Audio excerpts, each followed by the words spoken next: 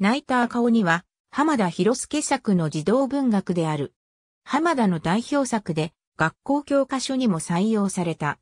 書出は、鬼の相談の表題で1933年、賢い小学2年生8月号から連載。初版は1935年7月に刊行された、広助平かなどは、岡村書店に書集。とある山の中に一人の赤鬼が住んでいた。赤鬼はずっと人間と仲良くなりたいと思っていた。そこで、心の優しい鬼のうちです。どなたでもおいでください。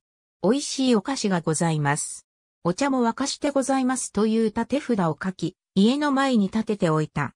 しかし、人間たちは疑い、誰一人として赤鬼の家に遊びに来ることはなかった。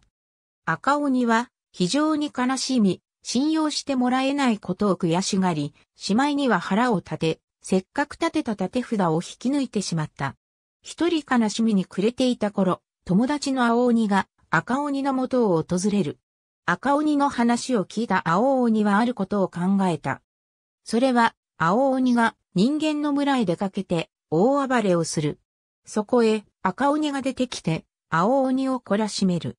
そうすれば人間たちにも赤鬼が優しい鬼だということがわかるだろうという策であった。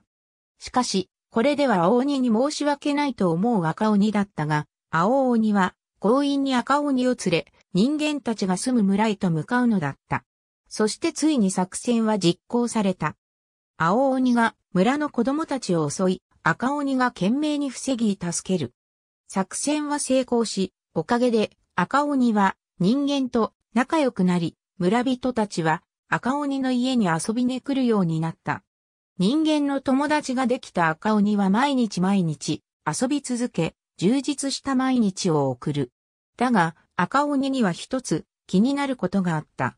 それは親友である青鬼があれから一度も遊びに来ないことであった。今村人と仲良く暮らせているのは青鬼のおかげであるので、赤鬼は近況報告も兼ねて青鬼の家を訪ねることにした。しかし、青鬼の家の戸は固く閉まっており、戸の脇に張り紙が貼ってあった。それは赤鬼くん、人間たちと仲良くして楽しく暮らしてください。もし僕がこのまま君と付き合っていると、君も悪い鬼だと思われるかもしれません。それで、僕は旅に出るけれども、いつまでも君を忘れません。さようなら、体を大事にしてください。僕はどこまでも君の友達ですという青鬼からの受け手紙であった。赤鬼は黙って、それを二度も三度も読み上げ、涙を流した。泣いた赤鬼の書室誌。ウェブキャットプラス、広助平かなどは、浜田広助著親切な青鬼くん、プロフィール我が家川観光推進協議会、消防団員応援制度。ありがとうございます。